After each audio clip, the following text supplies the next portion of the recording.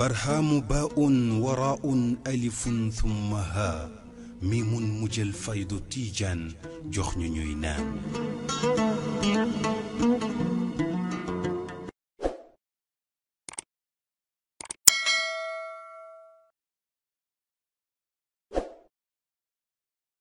دعا رئيس الاتحاد الإسلامي الإفريقي الخليفة العام للطريقة التجانية بجمهورية السنغال الخليفة محمد الماحي الشيخ إبراهيم أنياس.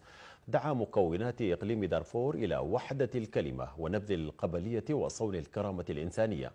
ذلك خلال لقائه والي غرب دارفور الجنرال خميس عبد الله أبو بكر وأعضاء حكومته.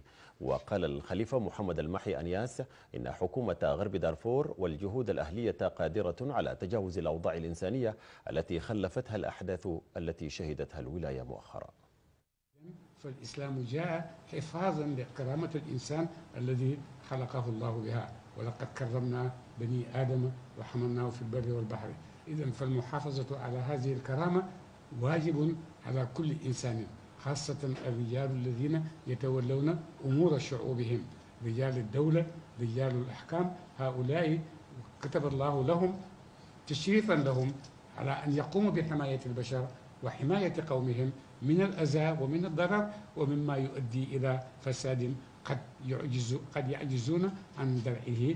ولكن رجال الأقوياء شعب الذي رأيته بالأمس. وهؤلاء الرجال حقا يعطون أملا في أن هذه المشكلة لن تدوم وأن رجالا أقوياء سيتغلبون على هذه المشاكل وسنصل إلى بر الأمان ويكون السودان محض مهد حضارة ومهد علم ومهد بناء للإنسانية والتقدم والحضارة. هذا هو السودان قديما وهذا هو السودان المستقبل إن شاء الله تبارك وتعالى.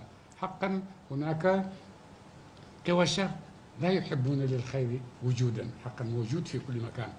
وهذه القوى الشر يحسدون بعض الناس على ما وهبهم الله من مواهب يستطيعون أن ينفعون بها الغير.